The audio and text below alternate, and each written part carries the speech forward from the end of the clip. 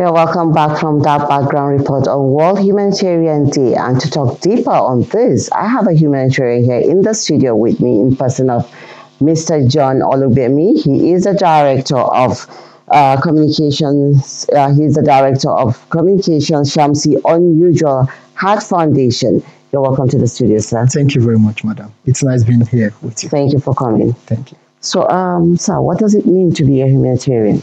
Uh, thank you very much. Uh, being a humanitarian is, for me, I see it as a religion. Goes beyond, um, you know, just calling yourself a humanitarian. I see you being a humanitarian as someone that has a deep passion for people, that have a love for people, that have a love for people that are suffering, people that are passing through so much, people that are oppressed. Um, you want to see them get out of their oppression. You want to put smiles on their faces. You want to see their condition of living get better. You want to see them get better at what they do. You want to relieve them of their pain and suffering. Mm. For me, I feel it's just beyond calling yourself a humanitarian. If you've not been able to meet some of these basic criteria that I've said, if you cannot put your smiles on the faces of people, um, you're not a humanitarian. But when you're able to do that, you see someone suffering, someone passing through pain, and mm. you have that desire to relieve them of their pain and put smiles on their faces, you're a humanitarian and I'm already smiling. so um, this year's theme is um, "It Takes a Village." Oh. Uh, you have empowered the less privileged from rural communities. Mm. So, what does it feel to put smiles to those people in that section? Well, thank you so much. Um, this year's theme, as you've just mentioned, it takes a village. The World Humanitarian Day is a day that has been set aside by the United Nations to reach out to people that are, you know, passing through so much pain as a result of war, poverty, famine. Mm. And it's a day that's usually commemorated on the 19th of, um, you know, August. Uh, 19th of August, it's a date, you know, just to commemorate and to, you know, put smiles on the faces of people. You know, for us at the Shamsi Unusual Heart Foundation, our organization is that which is focused on prisons, is a prisons NGO, mm. and our basic um, focus is to reach out to inmates, many of whom have been um, incarcerated due to no fault of theirs. Some people are in the four walls of prison, you know, without knowing the offense that they committed, and some people have spent years in prison all because um, they are unable to raise as little as 5,000 naira, 10,000 naira. They are behind bars. So basically, what we've been doing, uh, the foundation was, you know, created or established due to the um, passion, you know, uh, our founder have for for such people because she had a personal experience of where she had a brother of hers thrown behind bars for an offense he never committed. So it was through that we realized that there are a lot of people like him that are behind bars for an offense they did not commit. And then we, we started in 2019. We've been to several correctional centers across the country, and we've met people who have also shared their stories, people that have stayed in the prison for as much as two years, three years, or because they couldn't raise 5,000 naira, 10,000 naira as fines. So what we usually do is to go there when uh, we look at some of those lesser crimes, mm. um, offenses. We go there, we rehabilitate them, we give them skills, and okay. um, we pay those fines 5,000 naira times 20, as the case may be, 10,000 naira times mm. 10, 10,000 naira times as 30, little as, as little as that.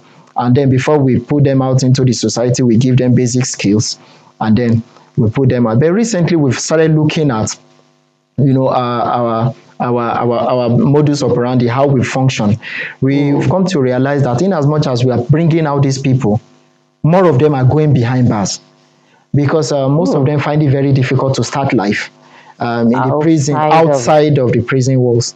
In the prison, they are fed as much as three times a day, twice a day. They cook for themselves, and they can't get it out there.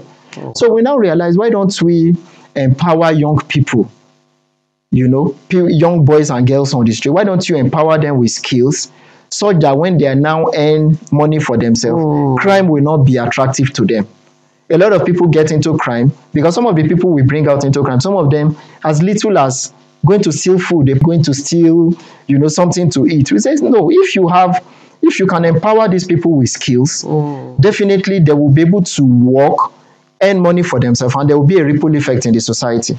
So we recently embarked on that with the empowering of um, training and empowering of 20 young people in skills ranging from pastry making, um, soap making, liquid soap making, and embalming. And we held our first, um, you know, empowerment events uh, barely a few days ago.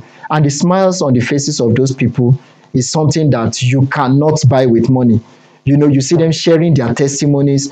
In fact, recently we had some of them, especially those that we trained in barbing. In as much as they are still apprentices in their various places of Oh. training, you see them wearing the apron, using the the clipper, you know. You know, trying to learn, trying to get better. Those that we've trained in pastry making, we also gave them starter packs. Okay. You know, those that we've trained in pastry making, we gave them something as little as what they can just use to start from inside their house.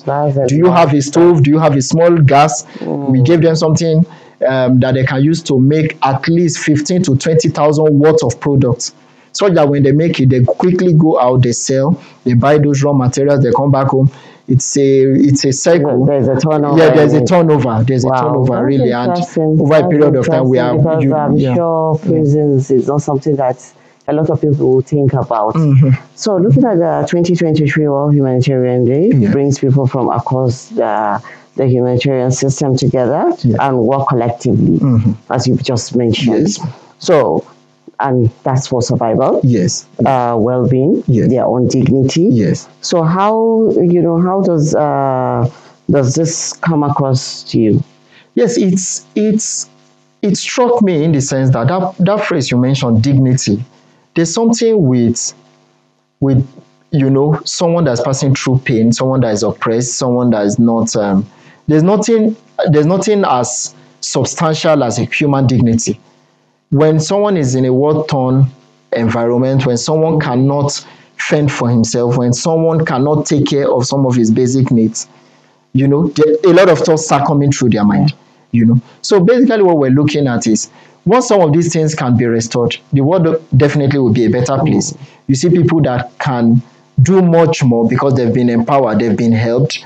A man that you put smile on his face today, or a woman that you put smiles on her face today, we want to do same to somebody that is feeling such pain Okay. such people will not forget where they are coming from. We see a lot of them, especially in our organization.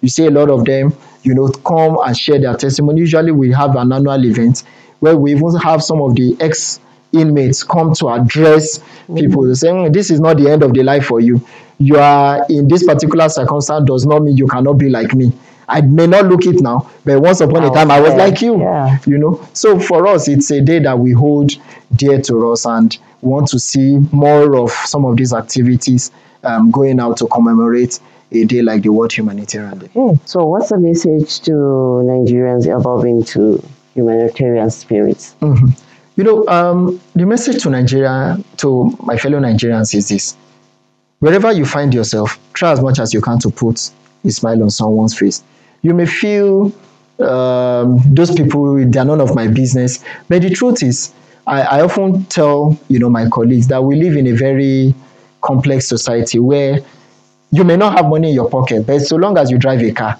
somebody somewhere is seeing you as a big person. So the moment a riot happens You are the you are the target. Yeah. Why? Because they see you as some of their oppressors. But if you are able to empower that person, he has a business in that society. He has a small kiosk where he's barbing.